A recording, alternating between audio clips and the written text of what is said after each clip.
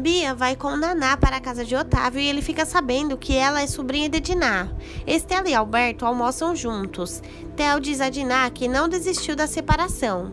Otávio revela a Alberto que esteve no hospital e conversou com, e conversou com outro médico.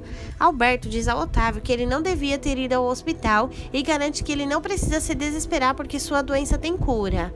Estela vê Bia conversando com o mascarado, arrasta a filha para casa e exige que ela fique afastada dele. Depois, ela confidencia a Tibério que o mascarado pode ser Ismael.